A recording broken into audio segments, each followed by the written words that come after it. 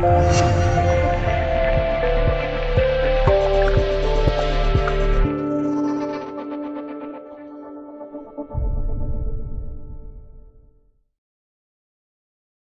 为很多球迷都非常喜欢的一位金门新星，马磊磊在刚出道的时候给球迷带来了眼前一亮的发挥，所以在这种情况下，大家也希望球队在比赛中可以成为核心主力。相信以马磊磊的表现是不会让球迷失望的。昔日金门最强中场重返泰达遭无视，二十岁就在亚冠梅开二度。当年马磊磊在泰达刚出道的时候，起点非常高。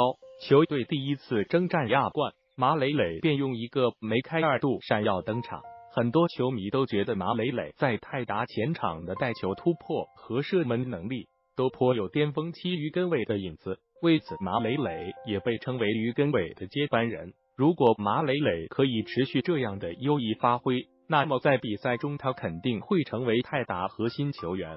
只可惜，在泰达的马磊磊并没有在比赛中成为核心球员。他由于不自律，成为了球队伤仲永的代表，所以马磊磊在比赛中成为了很多球迷惋惜的对象。作为马磊磊来说，后来也想重返泰达，只是让他没有想到的是，自己试训泰达并没有成功，这是让很多球迷都感到非常惋惜的事情。期待着未来马磊磊可以上演王者归来的好戏。